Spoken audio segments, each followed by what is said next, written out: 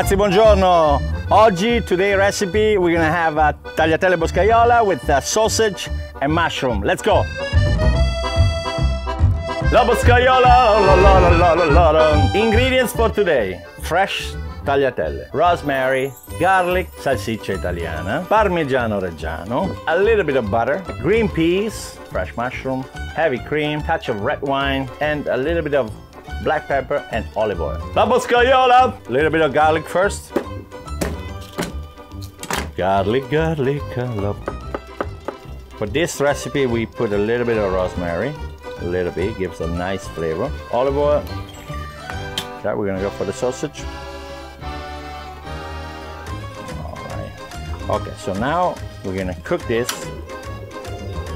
A slice of mushroom like that. We have the mushrooms.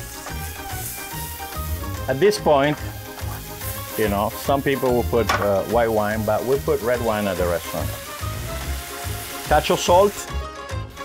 Okay. We're gonna add the peas. At this point, we're gonna put a little bit of heavy cream inside. Okay, so this is uh, the boscaiola. Okay, our pasta is boiling. Remember, our pasta needs to taste like the ocean. We use today fresh tagliatelle. This fresh tagliatelle comes straight from the restaurant. Remember, Borti Pasta Bar.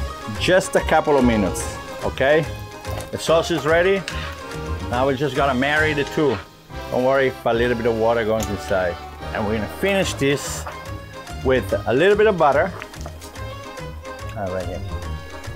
Wow, here we go. Look at this. Look at this. Wow. Put some Parmigiano Reggiano. Oh, look at this pasta. So good. Pasta is ready to go. This is gonna make everybody happy. There we go. Now we're gonna play the boscaiola. There we go. Put a little bit of black pepper, a little bit of uh, Parmigiano Reggiano. Tagliatelle boscaiola.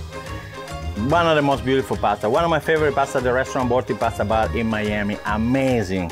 Sausage, mushroom, peas, touch of cream. Fantastic. Fresh tagliatelle. Mamma mia. Wow. It's amazing. Mamma mia. Oh. Oh. Mm. Unbelievable. Buon appetito with this fabulous boscaiola. Enjoy, guys.